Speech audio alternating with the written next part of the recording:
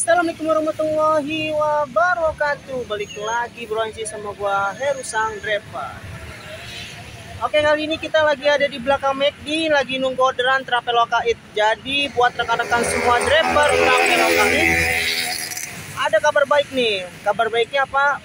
McD atau McDonald sudah bekerja sama dengan Traveloka It Dan diskonnya lagi besar banget. Ada yang 50%, ada yang 20%, ada yang 10% Tergantung dari promo yang di diberikan oleh Traveloka Aid untuk McD.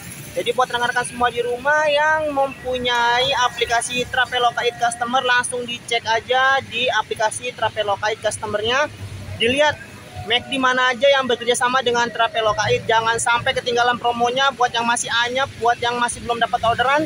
Langsung dibuka on aja Traveloka Aid-nya. Semoga gacor hari ini. Kita langsung aja tunggu orderan di McD. Oke, akhirnya masuk juga nih McD setelah kita nunggu lama. Tadi dari jam 6 sampai dengan ini udah jam 8 2 jam. Oke, kita sekarang lagi nunggu orderan Traveloka It. Uh, berhubung ini masih pem, uh, awal ya, awal di McD jadi untuk Traveloka It nomor pemesanannya seperti orang beli pada umumnya. Kalau Grab di sana kan ada tulisannya tuh GF karena ini Traveloka It maka nanti akan dipanggil secara manual ya.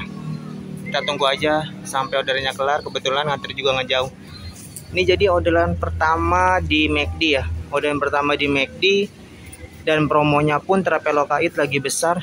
Cuman masih mendominasi Grab. Grab masih juara di McD Oke saatnya kita ngantel orderan.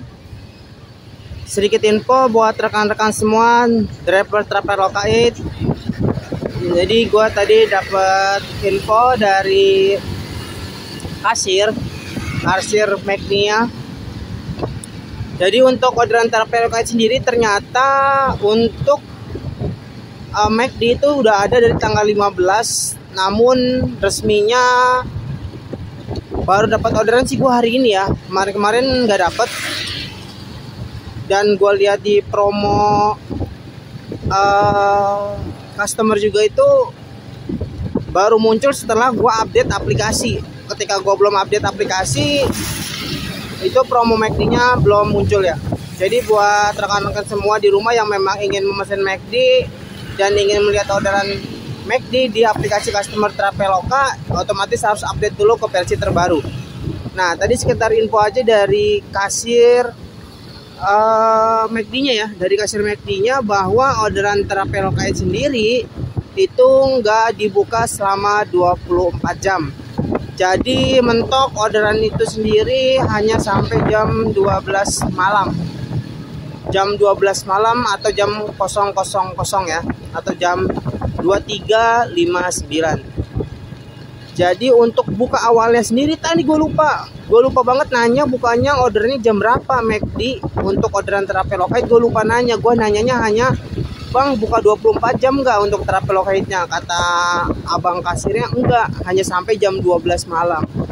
Jadi buat rekan-rekan semua yang masih on bid jam 12 malam Travelocate otomatis nggak akan nyangkut karena ordernya sampai jam 12 malam untuk saat ini nggak tahu sampai ke depannya ya dan satu info lagi buat rekan-rekan semua, rekan-rekan driver untuk promo McD sendiri nggak semua McD ada di Traveloka Khususnya di daerah Sunter kan ada dua McD ya, yaitu Sunter Barat dan juga Sunter Utara.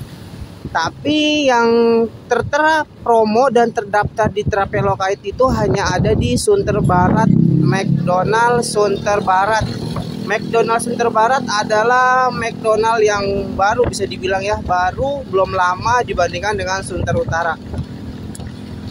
Oke lah, jadi itulah sedikit info buat rekan-rekan semua. Sebelum kalian melipir ke McDonald, gue ingetin kalian cek dulu di aplikasi Traveloka customernya apakah McD di sekitar kalian ada tidak di aplikasi Travelokanya daripada udah lama-lama nongkrong dan gak dapet orderan buang-buang waktu lebih baik kita cek dulu salam gacor hari ini gue dapet tiga semoga besok besok dan seterusnya promo di Travelokait makin besar makin hebat dan drivernya makin sejahtera Jangan lupa tetap safety riding, jaga kesehatan karena ada orang tercinta di rumah yang selalu menunggu kita. Sampai berjumpa di video selanjutnya. Wassalamualaikum warahmatullahi wabarakatuh.